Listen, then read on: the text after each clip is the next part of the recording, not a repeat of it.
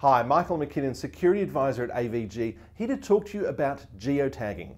Did you know that when you take photographs and share them online through social media, and I'm talking about photographs that you take with your smartphone and your tablet as well as your traditional camera, that these photographs and also sometimes the posts themselves can contain geographic location of where you are. Now at best, this might simply mean that you're revealing to the world your secret fishing spot or your annual camping ground spot, but at worst, it might be putting you in the path of stalkers and bullies, perhaps even ex partners.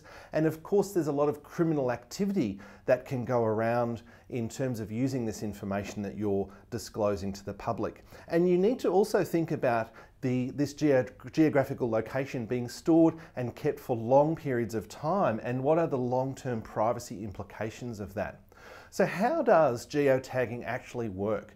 Well, it works through the storage of what's known as EXIF data, traditionally on photographic images, which are in the form of JPEG files. Now, EXIF stands for Exchangeable Image File Format, and it simply refers to an extra component of information that is added to the image files themselves by the device that took the photo. So if it's your smartphone, and you take a photo with your smartphone and location services are turned on, that actual photographic image can contain some extra information which may contain the GPS coordinates of where that photo was actually taken.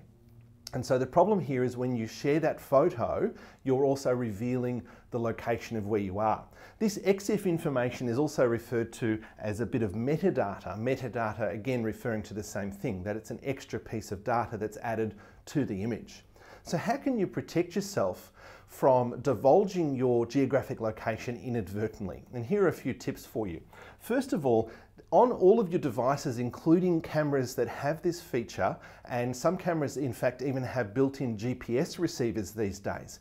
If you look in the menu of the camera, you can disable this option so that the, eh, the EXIF information and specifically the geographic location information contained within that is turned off and doesn't get recorded with each of the images.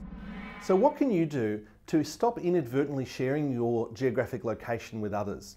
Well, first of all, I'd like to mention that if you're building a historical collection of photographs that you take, stripping the geographic location out of them or disabling your devices so it doesn't actually store that information in the first place may not be a terribly good idea longer term. The reason for this is that as time goes by and you want to reflect on your old photographs, it can actually be really useful to see where those photographs were taken to give you some context and certainly as technology improves and we'll be able to reflect on our photo libraries better in the future, it's actually quite good to have geotagging information contained in the photos. The real issue, of course, comes about when we're sharing those photos and making them public, and this is when we're disclosing that geographic information.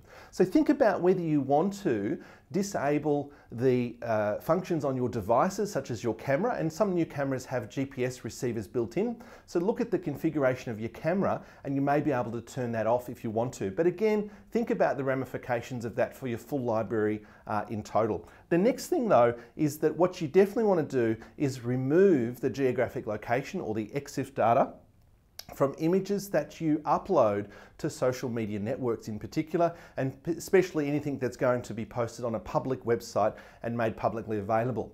Um, apps like AVG's Image Shrinker for Android is a good choice for this. Not only shrinks the image down, but also removes that information. And also think about not only images and photos, but also if you're using a social media app like a Twitter app or a Facebook app, on a mobile device. These also have options for including the location in text and other types of posts as well, which you may want to disable and look at the privacy settings of those apps as well to help you. For more great tips like this, please visit our website blogs.avg.com. Thank you.